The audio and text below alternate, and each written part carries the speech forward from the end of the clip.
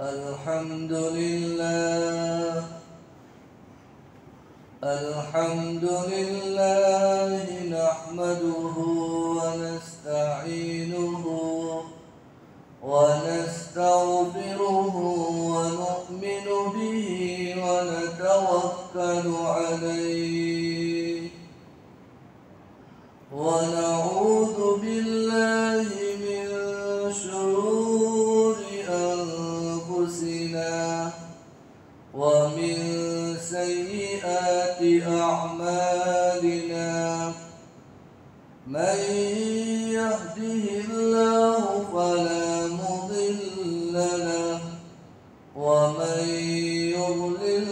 فلا هادي له.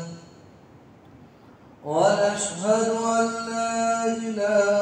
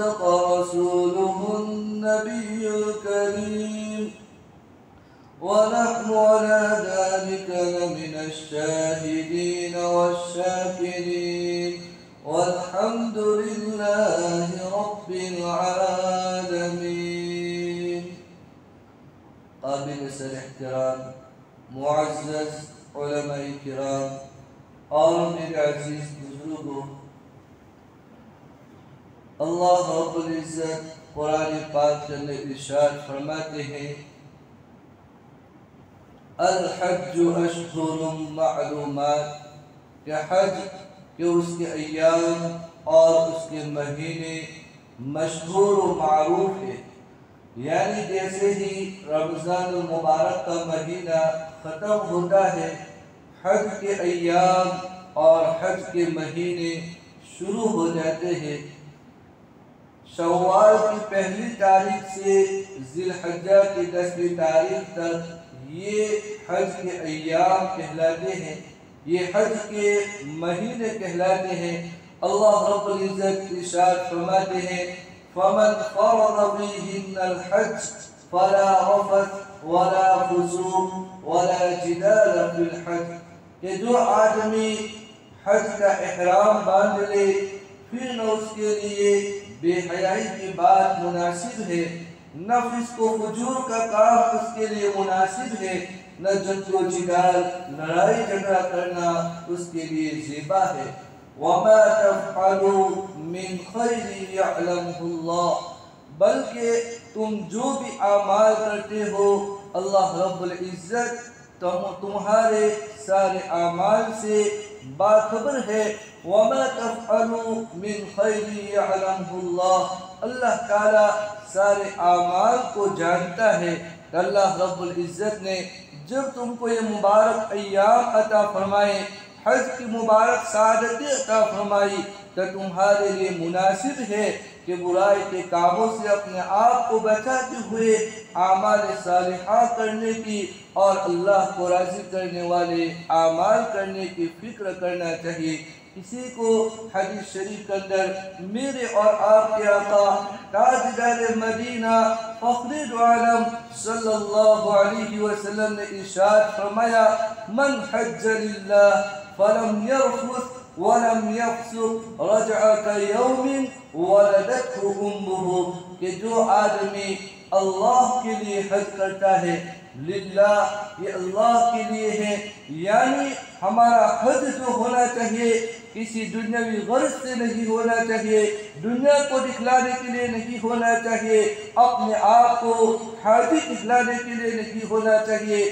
للہ اللہ کے لیے اپنا حج ہونا چاہیے۔ اللہ کے نبی فرماتے ہیں، من حج للہ جو آدمی خالص اللہ کو راضی کرنے کی ارادے سے حج کرتا ہے فرض کے اندر کوئی بے حائی کا کام کرتا ہے، ولم یفسق، نہ کوئی گناہ کا کام کرتا ہے، تو وہ گناہوں سے ایسا پاک اور صاف ہو کر وہ اپنے گھر پر واپس لاتا ہے۔ کارجع یومین ولدت امہو کہ آج بھی اس کی ماں نے اس کو جنا ہے۔ یعنی جس طریقے سے بچہ پیدا ہوتا ہے، پیدا ہونے کی حالت کے اندر بچہ بالکل گناہوں سے پاک اور صاف ہوتا ہے معصوم ہوتا ہے اسی طریقے سے جو کوئی آدمی حج کر کے واپس لوٹتا ہے۔ رجع کا یومین والدت امہو تو وہ گناہوں سے ایسا پاک اور صاف ہو کر آتا ہے کہ گویا آج بھی اس کی ماں نے اس کو جنا ہے۔ اس لیے حدیث شریف کے آتا ہے کہ آدمی جب حج کر کے واپس ہوتا ہے تو رسول اللہ صلی اللہ علیہ وسلم اس کے لیے خوشخبری سناتے ہیں کہ وہ گناہوں سے بخش بخشایا اپنے گھر پر واپس آیا ہے۔ تو اس کو اکثر نو اپنے اعمال کی شروعات کرنی چاہیے کہ آدمی کو گناہ والی زندگی کو چھوڑ کر اعمال صالحہ والی، اللہ کو راضی کرنے والی زندگی کو اختیار کرنا چاہیے۔ یہی حج کا مقصود ہے کہ انسان جب حج کر لیتا ہے، وہ اللہ کے نزدیک بڑا مقام پا لیتا ہے۔ حاجی یہ اللہ کا مہمان ہوتا ہے، حاجی جو بھی دعا کرتا ہے، اللہ رب العزت اس کی دعا کے اندر تاثیر عطا فرماتے ہیں، اس کی دعا کو قبول فرماتے ہیں۔ حاجی جس کے لیے سفارش کرتا ہے، اللہ تعالی حاجی کی سفارش سے جس کے بھی لیے مغفرت کی دعا کرے، اللہ تعالی حاجی کی سفارش کی برکت سے اس کی مغفرت فرما دیتے ہیں۔ حج یہ بڑا مقام ہے۔ جس خوش نصیب کو نصیب ہو جائے اللہ تعالیٰ کی طرف سے بڑی سعادت ہے، اسی لیے حدیث شریف کے اندر فرمایا گیا، الحج المبرور لیس له جزاء الا الجنہ، کہ حج مبرور کا بدلہ سوائے جنت کے کچھ نہیں ہے۔ یعنی جس کو حج مبرور نصیب ہو جاتی ہے، اللہ رب العزت اس کو جنت کے اندر مقام عطا فرماتے ہیں۔ اللہ تعالیٰ سے دعا ہے اللہ تعالیٰ ہم تمام کو حج مبرور اور حج مقبول کی سعادت سے بار بار مالا مال فرمائے۔ عام طور پر جو بھی عبادت کرتا ہے، تین طرح کی عبادت ہوتی ہے۔ ایک عبادت مالی ہوتی ہے، ایک عبادت بدنی ہوتی ہے، اور تیسری عبادت ایسی ہے جو مالی اور بدنی دونوں مشترک ہوتی ہے۔ مالی عبادت جیسے کہ، مالی عبادت جیسے کہ زکاة کا دینا ہے۔ آدمی کے لیے زکاة اسی وقت ہے جب اس کے پاس مال ہو۔ مال ہوگا اور اس کے اوپر زکاة واجب ہوگی تو یہ مالی عبادت ہے، دوسری عبادت بدنی عبادت ہے، جیسا کہ نماز ہے، روزہ ہے کہ یہ بدنی عبادت ہے، کہ عبادت کو ادا کرنے کے لیے نہ روپیوں پیسوں کی ضرورت ہے مانو مالا دولت کی ضرورت ہے۔ صرف آدمی کا جس استعمال ہوتا ہے تو یہ نماز، روزہ، یہ بدنی عبادت ہے۔ اور بعض عبادت ایسی ہے جس کے اندر بدن کی بھی ضرورت پڑتی ہے، مال و دولت کی بھی ضرورت پڑتی ہے۔ وہ حج کی عبادت ہے کہ حج کے لیے، آدمی کے لیے مال و دولت کی بھی ضرورت پڑتی ہے آدمی کے بدن اور جسم کی بھی ضرورت پڑتی ہے۔ تو یہ بدنی اور مالی دونوں عبادت مشترک ہوتی ہے۔ حج کے اندر آدمی جب حج کے لیے جاتا ہے یا عمرہ کے لیے جاتا ہے، تو سب سے پہلے احرام کی چادر پہنتا ہے۔ تو ان چادروں کو احرام کیوں کہا جاتا ہے؟ چادر آج کل مارکیٹ کے اندر جو احرام کے نام سے چادریں بکی جاتی ہے وہی احرام ہے یہ ضروری نہیں، بلکہ آدمی احرام کے لیے کوئی بھی کپڑا استعمال کر سکتا ہے، کوئی بھی چادر استعمال کر سکتا ہے، لیکن ان چادروں کو احرام کیوں کہا جاتا ہے؟ تو علماء کرام فرماتے ہیں کہ ان چادروں کو احرام اس لیے کہا جاتا ہے کہ بہت سی چیزیں ان چادروں کے پہننے سے پہلے آدمی کے لیے حلال ہوتی ہے جیسے کہ اپنے بات اپنی بیوی سے خواہشات کو پورا کرنا، اپنی بیوی سے خواہشات کی باتیں کرنا، خوشبو لگانا، بال ناخن وغیرہ کاٹنا، یہ انسان کے لیے احرام کی چادروں پہننے سے پہلے حلال اور جائز ہوتی ہے۔ لیکن جیسے ہی آدمی احرام پہن لیتا ہے اور تربیہ پڑتا ہے لبیک اللہم لبیک لبیک لا شریک لک لبیک ان الحمد والنعمت لک والملک لا شریک لک تو جیسے ہی آدمی نے چادر پہنی، یہ لبیک پر ہی، تو وہ چیزیں حرام ہو جاتی ہے یہ چادریں ان چیزوں کو حرام کرنے والی ہوتی ہے اس لیے ان چادروں کو احرام کہا جاتا ہے۔ اور جب آدمی احرام بنتا ہے، احرام کے بعد لبیک، اللہم لبیک کہتا ہے، تو یہ کس کے جواب میں لبیک کہتا ہے؟ تو اس کی تاریخ یہ ہے کہ جب حضرت ابراہیم علی نبینا وعلیہ السلام والسلام اور ان کے لادلے بیٹے حضرت اسماعیل علی نبینا علیہ السلام نے خانہ کعبہ کی تعمیر فرمائی اور خانہ کعبہ کی تعمیر فرمانے کے بعد اس کی تعمیر سے فارغ ہوئے تو اللہ رب العزت کی طرف سے حضرت ابراہیم علیہ السلام کو حکم دیا گیا، وَأَذِّن فِي النَّاسِ بِالْحَجِّ، کیا آپ لوگوں میں حج کا اعلان کیجیے؟ اس وقت آج کے زمانے کے اعتبار سے جو اسباب و وسائل ہے جو موبائل اور انٹرنیٹ کا دور ہے، اس زمانے کے اندر وہ چیزیں مہیا نہیں تھے، وہ اسباب نہیں تھے۔ حضرت ابراہیم علیہ نبینا علیہ السلام کو حکم دیا گیا، آپ لوگوں میں اعلان کرے کہ یہاں پر حج کے لیے آئے، اللہ کے گھر کی عبادت کے لیے آئے، طواف کے لیے آئے۔ حضرت ابراہیم علیہ نبینا علیہ السلام نے باری تعالیٰ سے عرض کیا، اے باری تعالیٰ، میری آواز دنیا کے اندر کیسے پہنچے گی؟ اللہ رب العزت نے فرمایا، اے ابراہیم آواز کا دینا آپ کا کام ہے، آواز کا پہنچانا ہمارا کام ہے۔ جب آج کا انسان دنیا کے اندر بیٹھے بیٹھے ایک ملک کے کونے سے دوسرے ملک کے کونے تک اور دنیا کے ایک کونے سے لے کر دوسرے کونے تک اپنے آواز کو پہنچا سکتا ہے۔ تو وہ خالق اور مالک جو ساری دنیا کا پیدا کرنے والا ہے، جو وہ کسی چیز کو پہنچانا چاہے، کیا وہ نہیں پہنچا سکتا ہے؟ اے ابراہیم، آواز آواز کا دینا آپ کا کام ہے، آواز کا پہنچانا میرا کام ہے۔ چنانچہ حضرت ابراہیم علیہ نبینا وعلیہ السلام نے پہاڑ پر چڑھ کر آواز دی۔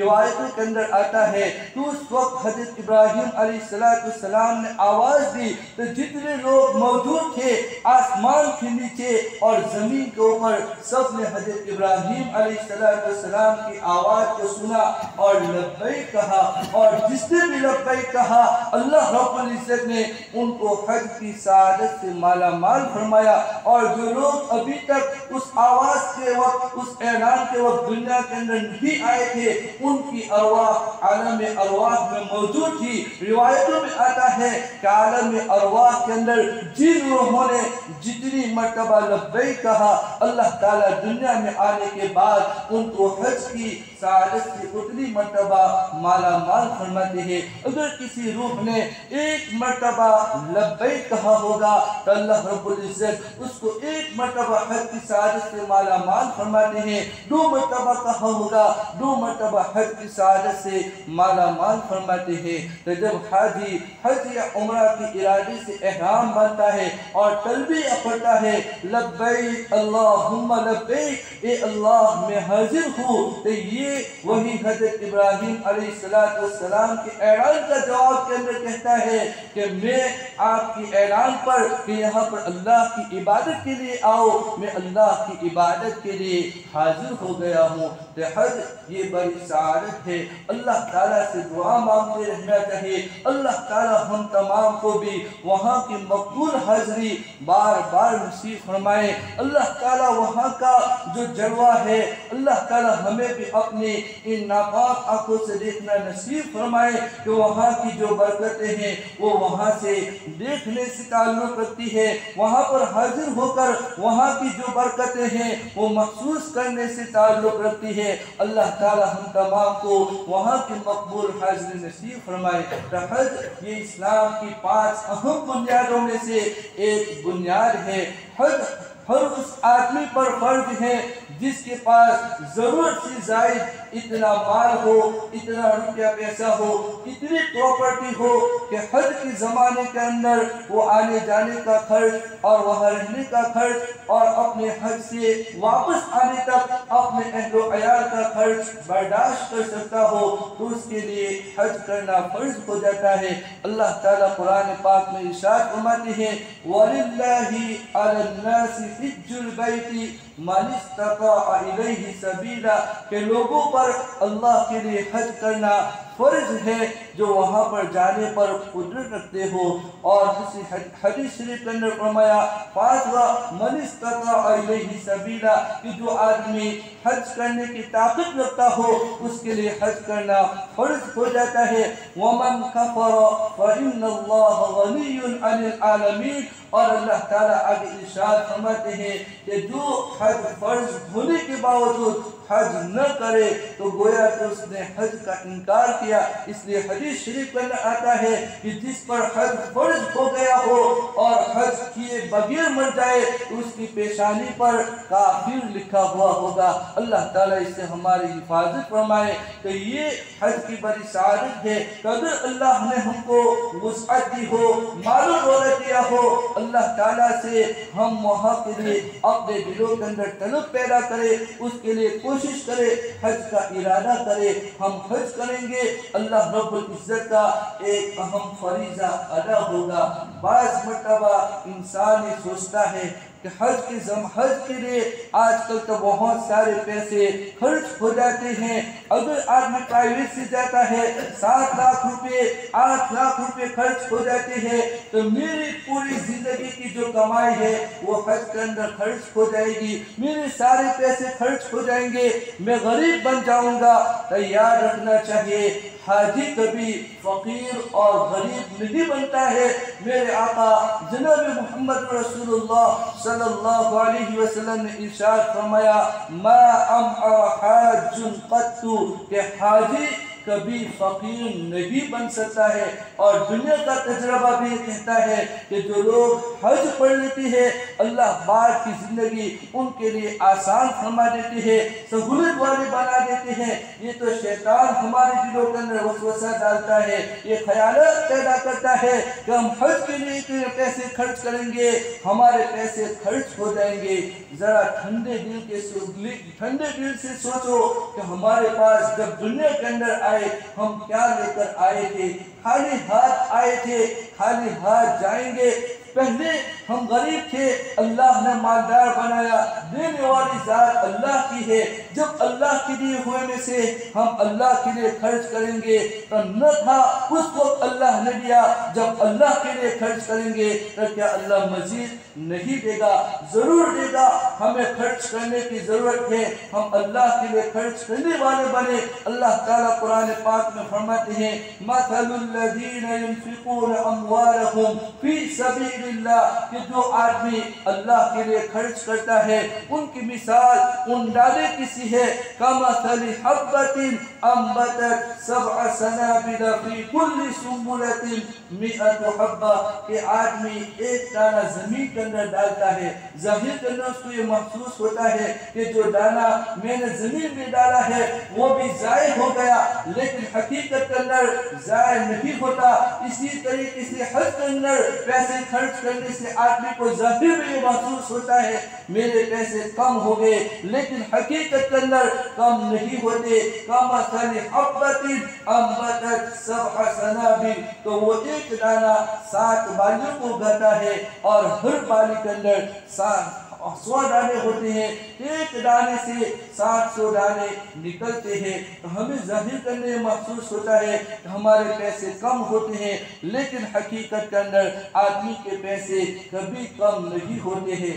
ہمارے دلوں کے اندر شوق ہونا چاہیے، جذبہ ہونا چاہیے، ولولہ ہونا چاہیے کہ جن لوگوں پر حج کرنا فرض ہے، ان کے لیے تو حج کرنا ہی کرنا ہے۔ لیکن اگر حج فرض بھی نہ ہوا ہو تو بھی مومن کے دل کے اندر یہ تمنا، یہ طرف ضرور ہوتی ہے کہ وہ مکہ مدینہ کی زیارت کرے۔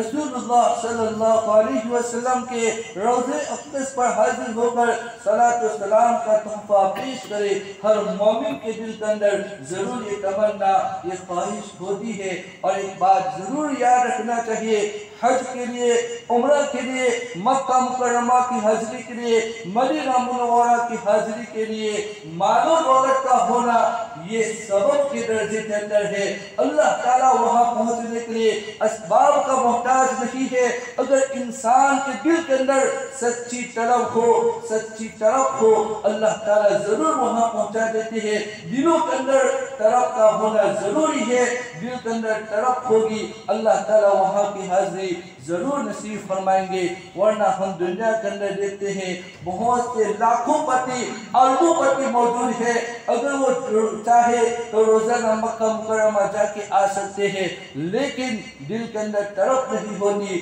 دل کے اندر طلب نہیں ہوتی، تو وہاں کی حاضری بھی نصیب نہیں ہوتی ہے۔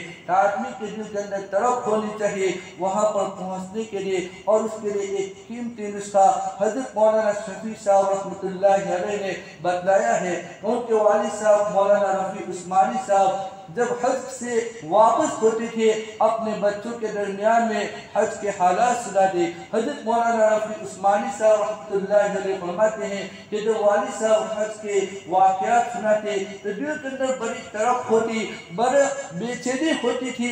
ایک مرتبہ میں نے والد صاحب سے کہا کہ میرے لیے بھی دعا کر دیجیے، اللہ تعالیٰ مجھے بھی حج کی دولت سے مالا مال فرما دے۔ حضرت مولانا محمد شفیع صاحب رحمۃ اللہ علیہ نے فرمایا کہ میں تیرے لیے دعا نہیں کروں گا۔ اس لیے کہ تیرے دل کے اندر حج کا شوق نہیں ہے۔ حضرت مولانا رفیع عثمانی صاحب فرماتے ہیں کہ میرے دل کے اندر بڑا شوق ہے۔ جب اب آپ حج کے حالات سناتے ہیں، میں تنہائی میں جا کر بہت روتا ہوں۔ اللہ سے بہت مانگتا ہوں۔ حضرت مولانا محمد شفیع صاحب رحمۃ اللہ علیہ نے اپنے بیٹے مولانا رفیع عثمانی صاحب سے فرمایا کہ اگر آپ کے دل کے اندر حج کا شوق ہے، تو بتلاؤ آج تک تم نے حج کے لیے کتنے پیسے جمع کیے؟ مولانا رفیع عثمانی صاحب فرماتے ہیں، تو اس زمانے کے اندر پاکستانی تنخواہ کے اعتبار سے ڈیڑھ سو روپیہ میری تنخواہ تھی، جو ماہانہ خرچ کے اندر ہی خرچ ہو جاتی تھی۔ میں نے کہا کہ اتنی کم تنخواہ کے اندر میں کیسے پیسے بچا سکتا ہوں؟ مولانا شفیع صاحب رحمۃ اللہ علیہ نے فرمایا،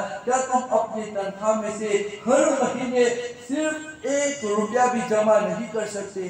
کہ یہ تو کر سکتا ہوں۔ حضرت مولانا شفیع صاحب رحمۃ اللہ علیہ نے فرمایا، اگر تمہارے دل کے اندر شوق ہوتا تو تم ہر مہینے صرف اس ارادے سے کہ ان پیسوں سے میں حج کے لیے جاؤں گا، ایک روپیہ ضرور جمع کرتے اس کے بعد حضرت مولانا شفیع صاحب رحمۃ اللہ علیہ نے اپنی بہن، ان کی بیٹی کا قصہ سنایا۔ مولانا رفیع عثمانی صاحب کی بہن کا کہ آپ کی بہن، آپ نے دیکھا کہ بڑی غربت کے ساتھ زندگی گزاری، لیکن ان کے دل کے اندر شوق تھا۔ اڑتالیس سال کی عمر کے اندر ان کا انتقال ہو گیا۔ جب ان کا سامان کیا گیا، ان کے اندر سے تھیلی نکلی جس کے اوپر لکھا ہوا تھا، یہ پیسے حج کے لیے میں نے جمع کیے گئے، کیے ہیں۔ جب تھیلی کو کھولا گیا، اس کے اندر سے صرف پینتیس روپے اس وقت کے اعتبار سے موجود تھے، جس کے اندر ایک آنا ایک دو پیسے کر کے یہ پینتیس روپے جمع کیے گئے تھے۔ حضرت مولانا شفیع صاحب رحمت اللہ علیہ فرماتے ہیں کہ جب دوسرے سال میرے لیے حج کے لیے جانا ہوا، وہ پینتیس روپے میں اپنے ساتھ لے گیا اور مکہ مکرمہ کا ایک مقامی آدمی، چونکہ پر حج فرض نہیں تھا، نفل تھا، اس لیے حج سے بدل ان پینتیس روپیوں کی بدولت کروا دیا۔ حضرت مولانا شفیع صاحب رحمت اللہ علیہ یعنی مولانا رفیق صاحب سے فرماتے ہیں کہ دیکھو تمہاری بہن کے دل کے اندر شوق تھا، انہوں نے اپنے اعتبار سے تیاری کی، تو پینتیس روپے کے اندر بھی اللہ تعالیٰ نے ان کے حد کا بدل بدلہ ادا کروا دیا۔ اگر تمہارے دل کے اندر بھی شوق ہوگا، تو اللہ تعالیٰ ضرور انہیں بھی حج کی دولت سے مالا مال فرما دے گا۔ حضرت مولانا رفیق صاحب فرماتے ہیں کہ میں نے بھی اس نسخے پر عمل کیا کہ ہر مہینے اپنی اپنی تنخواہ میں سے خود پیسے نکال کر حج کے لیے جمع کرتا تھا۔ کچھ ہی سال کے اندر اللہ نے مجھے بھی حج کی دولت سے مالا مال فرما دیا۔ تو ہمارے دلوں کے اندر حج کا شوق ہوتا ہے۔ اس کے لیے ایک بہترین نسخہ ہے۔ سب سے پہلے ہم دعاؤں کا اہتمام کریں۔ اللہ سے مانگے کہ اللہ تمہیں حج مبرور اور حج مقبول کی سعادت سے مالا مال فرمائے۔ اور کوشش کے درجے کے اندر سبب کے درجے کے اندر ہم کچھ ایسا گلہ بنا ہے جس کے اندر ہو سکے روزانہ روزانہ نہ ہو مہینے کے اندر کچھ نہ کچھ پیسے اس نیت کے ساتھ ڈالے کہ انشاءاللہ ان پیسوں کے ذریعے سے میں اللہ کا گھر کا دیدار کروں گا اسباب کے درجے میں ہم کریں گے اللہ تعالیٰ خزانے غیب سے ہمارے لیے اسباب پیدا فرما لے گا اللہ تعالیٰ ہم تمام کو حج مبرور اور حج مقبول کی سعادت سے مالا مال فرمائے آمین وآخر دعوانا الحمدللہ